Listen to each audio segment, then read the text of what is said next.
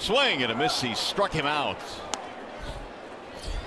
Kinsler is gone two away. The second strikeout for the Twins lefty. Look at the.